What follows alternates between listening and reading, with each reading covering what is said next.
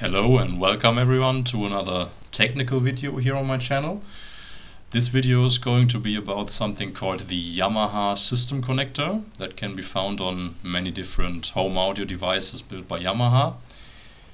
In this case it's going to be about the Yamaha YST FSW150 subwoofer but it's going to be the same for any other part of equipment that uses this system connector and I'm gonna show you guys a little more technical detail about this connector, how it works and how you can possibly hack it to work with other devices since uh, by default it only is supposed to work with other Yamaha devices. So in this case uh, I'm gonna make it work together with an Onkyo receiver, the Onkyo TX SR307. The reason I'm doing this is because when I tried to hack it um, or to do this mod myself the first time, I couldn't find any information about this connector and its specifications online, so I had to just had to guess. And so I want to give you guys the information I found out so that you, you can do a hack like this more easily. If you're following along and try hacking your devices in the way I'm going to show you, you're doing it at your own risk. I will only provide information here and what you do with this information is completely up to you if you do something wrong while trying to hack this, you may damage your uh, subwoofer and or your amplifier. You'll certainly void the warranties and you might even injure or even kill yourself since we're working with mains powered devices here. So only try it if you know what you're doing. So let's get into it.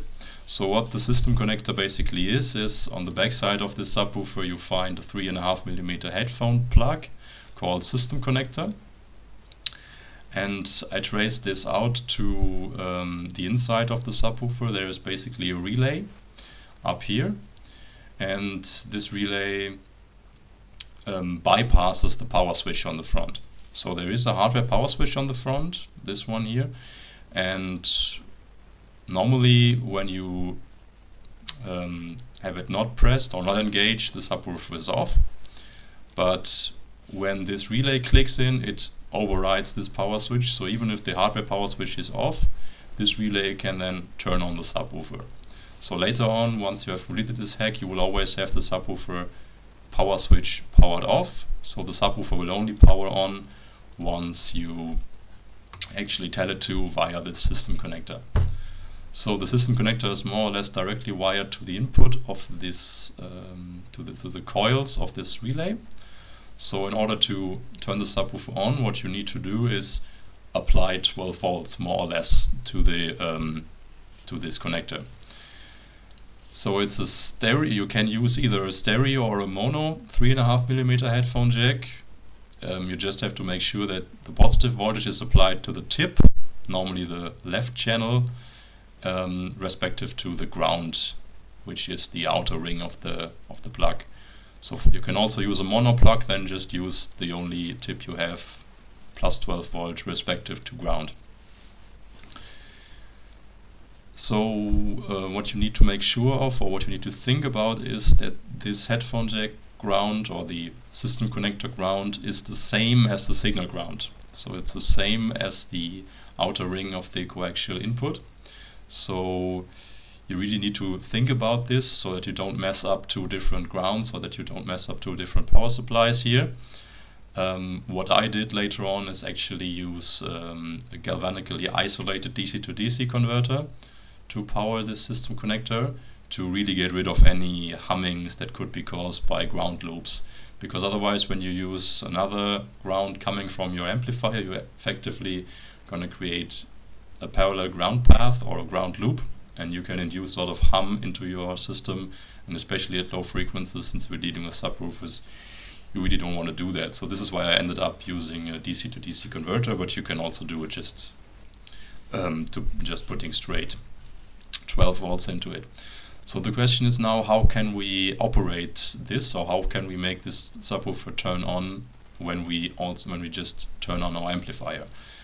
Um, so the, as I said, the amplifier I am using here, or that is present here, is the Onkyo TX SR307. And if you have a look at the back, there is also a 3.5 millimeter headphone jack that's called remote control. But this is again um, some Onkyo specific stuff.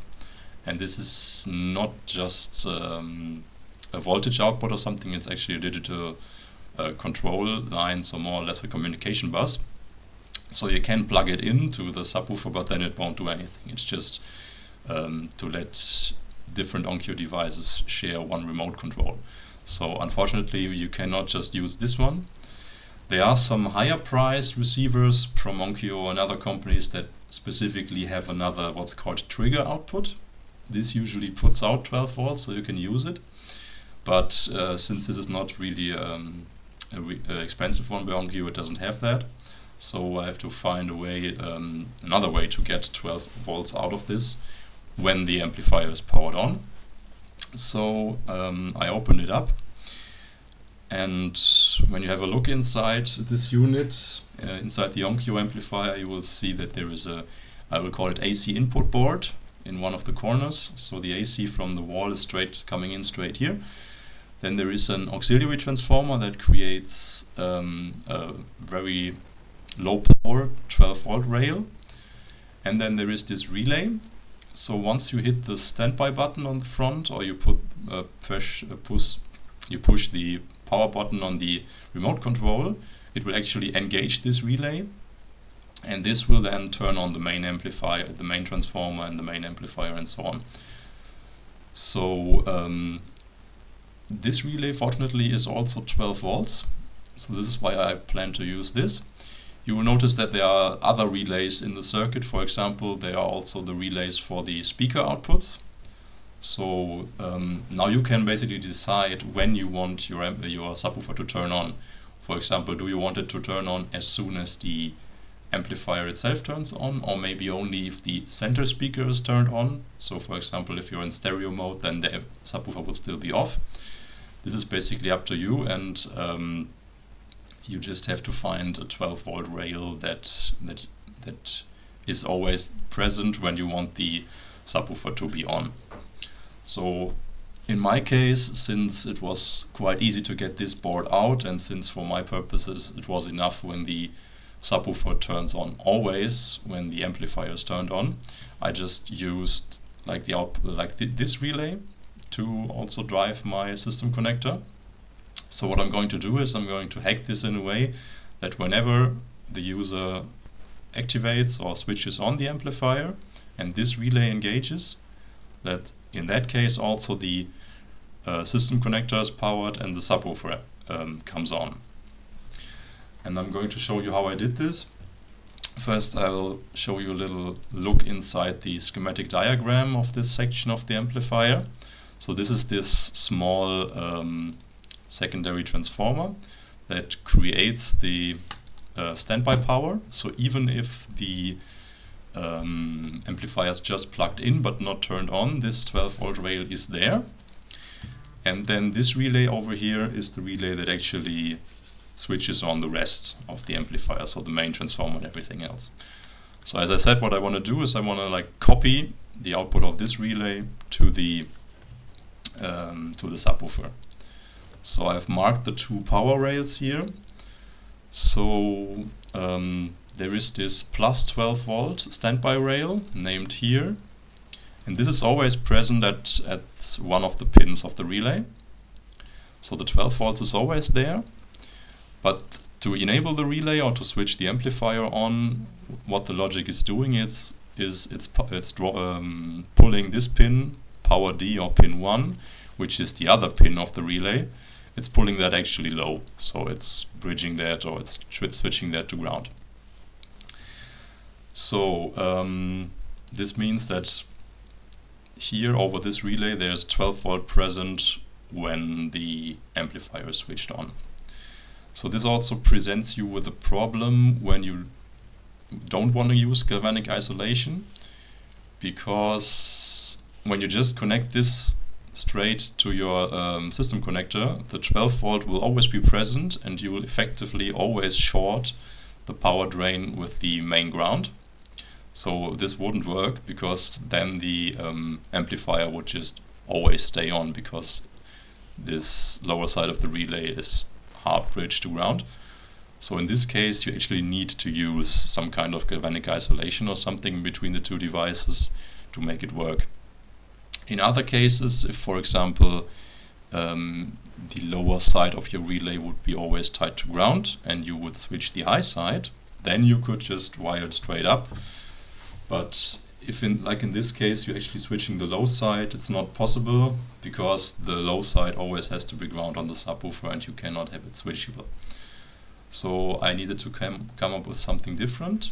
So what I did is I picked um, a DC to DC regulator, which is galvanically isolated. In my case, it's a part by Martek Power. Um, so these are like up to 5 pin DC to DC converters and the important thing is that they are galvanically isolated and they actually also specify some isolation voltage that doesn't really matter but the thing is as soon as there is an isolation voltage you know that it's actually isolated. So it's good for this purpose. And what we need is we need 12 volt input because the relay that we want to copy is uh, has a 12 volt coil. And we also want 12 volt output because the system connector and the relay attached to it also require 12 volt. And one part I had lying around was this one. So 112D 12 VFS, input voltage 12, output voltage, and now you see this is actually a uh, symmetrical rail output, so it has a positive and negative 12 volt rail. We don't need the negative volt rail, but you can still use it. And then the power rating, or in this case the current rating, is more than enough. The relay inside the system connector takes roughly 5 to 8 milliamps. So anything above 10 milliamps in the converter is fine. So this is good to go. So and what I did is I went inside the amplifier and actually soldered the input pins of this converter to the uh, the positive input pin to this side and the negative pin to this power D line. One thing you should do here is um, not solder the positive supply directly to the relay pin because as you can see there is a dropper resistor inside that actually limits the current um, when the relay is switching on. So you don't really want that current limiting, so you should put the positive input to the DC to DC converter before this um, dropping resistor. Uh, the best way would be to put it straight on the positive pin of that of that capacitor. And then for the other side, you're going to need to cut a cable. So you can just use any regular three and a half millimeter headphone jack, whether it's mono or stereo, it doesn't really matter. And then you just um, cut it open. You will have the isolation or the, the, the screen of the cable, which is ground. And then depending on how your cable is wired up, e uh, either the white or the red. I thought at first that my cable had the um, white cable for the tip, but actually I had to recut it because it used the red cable for the tip contact. So just recheck that with a multimeter or something and then you can go in and uh, solder on this DC to DC converter. So here you can see um, this DC to DC converter I used. As I said, it's 5 pins, so there is this negative rail which I didn't use. The inputs are coming as I uh, drawn here from the supply of the original relay inside the amplifier. And then the output is going to this headphone jack to the system connector. So in my case, I used the screen as ground for the center pin here, and then the tip, which was going to the red, to plus 12 volt. So then I create a headphone jack that has plus 12 volt on the tip, respectively to ground, when the amplifier is turned on, and 0 volts when it's switched off. And since I'm using a galvanically isolated uh, DC to DC converter, I don't have to worry about any uh, ground currents or any voltage levels that are mismatched. I can just safely plug it in. So um, once this is soldered, I just glued it in place inside the amplifier. Um, you might wonder if it's a good idea to put a switching regulator inside um, audio amplifier. Well, in theory not, but in practice there are already lots of switching regulators inside a modern um, AV amplifier like this and they're usually operating outside of the audible frequency range so you don't really have to worry about it. But if you're still you can just put it as far away from the actual amplifier section or the input section of the amplifier. So as I did it right at the back close to the AC input since there's already a lot of noise in there and the amplifier should be shielded against that. Then to add a little strain relief to that cable I just um, pushed it through the same outlet as the mains AC cord comes out so um, it doesn't move when you when you pull on it and something so it um, the solder joints won't get broken this way. Yeah, and then you're basically good to go. You can just plug this cable now inside of the, um, you can plug this to the system connector port of your subwoofer. And now, whenever you activate your amplifier, which I'll show here in this video, so when you switch the amplifier on, you can see the green light of the subwoofer also comes on. You hear some relays click inside both devices. And when you switch off the amplifier, the subwoofer also switches off. So this is quite handy because now you don't have to stand up every time, go to your hi-fi setup and press the hardware button on subwoofer each time you want to listen to music. You can just turn it on on the remote control of the amplifier. Yeah, and I found out that this works quite well. I don't had any problems with that. Um, so if you want to try it out, you don't have to actually use power from the amplifier. You can also build your own little setup that provides 12 volt. Um, so I don't have any specifications about this connector, but since it's more or less directly connected to this relay inside the subwoofer, which is a typical 12 volt relay, you should be good with any voltages from like 9 to 15 volts. And it's rated at 0.15 watts, which would end up to something like 12 milliamps. But I found out that in my case it consumed only like 6 milliamps. So yeah, you just need a source that's capable of providing that kind of power, but almost any source will do. Yeah, and as I said, um, be aware that the system connector shares the ground with the input, so you cannot just take any 12 volts you get from somewhere. You have to make sure that the 12 volts are either on the same ground potential in the device you're taking them from, or preferably go safe and use one of these DC to DC isolated converters. In this power range, we're talking less than 150 milliwatts. Um, they shouldn't be too expensive, like five bucks or 10 bucks maximum.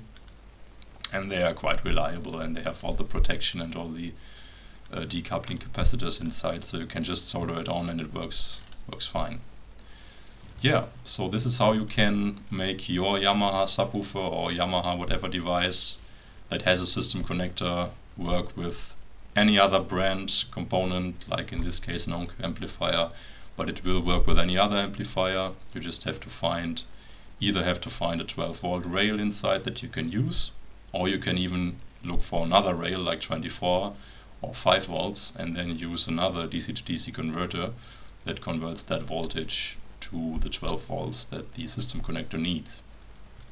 Okay, so I hope this was not too confusing and I hope you got the idea and if you try it yourself I wish you the best luck. Thanks for watching.